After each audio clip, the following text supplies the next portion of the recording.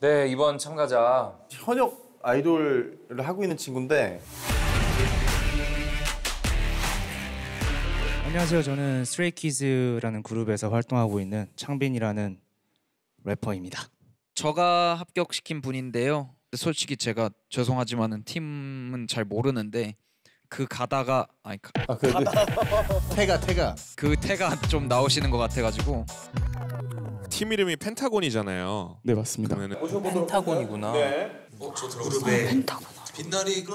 유명한 사람이 펜타곤 좀 미흡고 뽕뽕 아니야? 근데 진짜 멋있다. 그러니까 약간 남쪽 태 느낌 어, 살짝 남태 태 중독자는 어, 태를 엄청 좋아하는.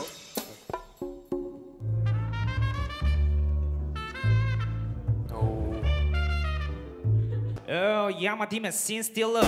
한마디도 아니 한 글자로 first killer. 라이브라면 관중들은 다 뜬걸 소려 마치 어린 놈의 베테랑 레벨하면 여론한테 박 사장님보다 길어. 욕심내지 않아 만 할 필요가 없잖아. 지편에 입수문이 저 우주 너만 나를 전해 내 길이 지옥행이라도 두려울 게뭐 있겠어 설마.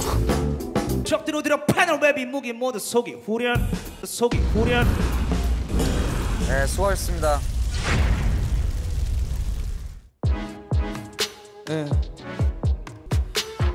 내 심장은 람보 파란 느력 세포 빨개진 눈 닦아내고 너검은 색소 갤러진 행동 다 잘라버려 행소. 나내 구경 my way. 잘라봐야 알지 나이 페이 너나 잘해. 돈이면 다돼 다른 사람들과 겸상할 바엔 차라리 무덤을 파겠어. 너네 말할 자격 없어. 낭만 앞에서. 인광보. 우리대로 걷어가기 반복. 예. 어 원패스. 감사합니다. 예, 구성은 정말 잘 만든 것 같은데 감사합니다. 완성이 되지 않은 느낌이, 느낌을 많이 받아서 저희와는 함께 못 가게 되었습니다.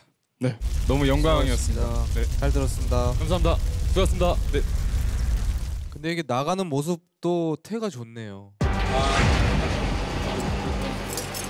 뭔가 좀 저를 다시 돌아보고 의미 있는 시간이었던 것 같습니다.